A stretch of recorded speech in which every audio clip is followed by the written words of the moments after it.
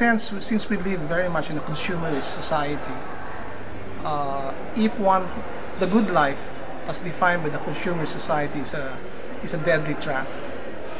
I mean, in, in a sense that uh, that good life can never be satisfied because it's nothing but a, uh, a kind of shallow satisfaction of needs which are very, in a sense, non-essential.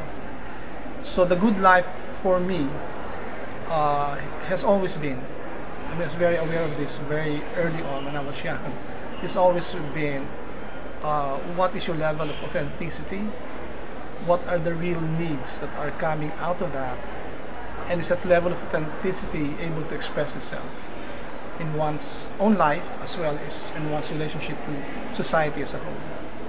So that the good the good life in the, in the sense there there the good life is not defined by any specific form but rather can take on form depending on the situation. It's always in a sense the uh, an encounter with the, that aspect of yourself which is formless because it's uh, universal. Uh, it's capable of uh, moving in basically any direction. So the good life is means to say to be in touch with, the, with that source, which means to say you can be in touch with many aspects of society. That's why I don't have any problems being in many different cultures.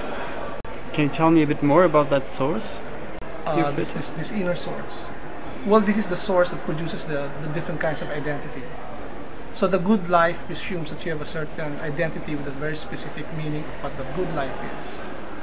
So that source that's deep within uh, is the source which is able to under, understand the different identities and can really appreciate it because all these different identities are entry points to the same essence. Mm.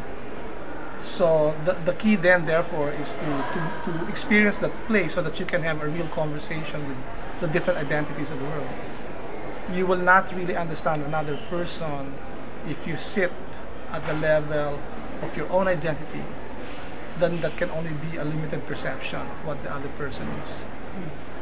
So if you're in your essence, so to speak, or whatever you want to call that, people here are calling it presence or that space of authenticity is another term that's being used.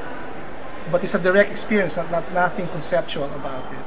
Then you can move into um, into the different identities of the world, and in fact appreciate those different identities because they give you a very enriched experience of what it means to be totally human. If I didn't experience, for example, the Arabic world, I, I would not be totally fully human. Nor if I didn't experience the Germanic world, for that matter. Uh, because to be totally human is to come from a universal place. Yeah, we, we actually try to develop a process right now.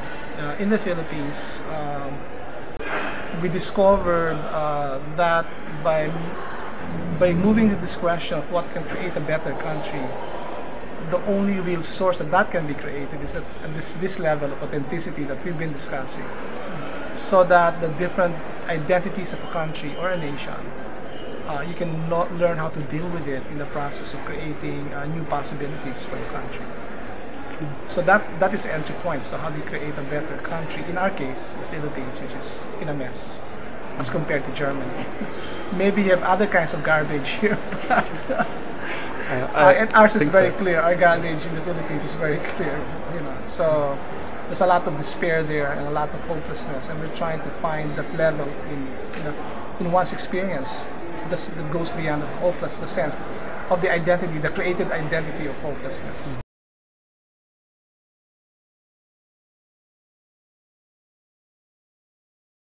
Well, if I had a mentor, it is very, it's a very interesting question because uh, I was looking for a mentor, but I never found one. So I, I always wondered uh, why I couldn't, I didn't find one, and I realized I had to to to um, to do a lot of things uh, out of my own inner experiences, without relying in a sense on, on somebody some somebody else. But it, you know, it would have been good uh, in, in a sense, to, to have encountered a mentor would have simplified the process. But on the other hand, uh, without a mentor, you didn't know what was the limit.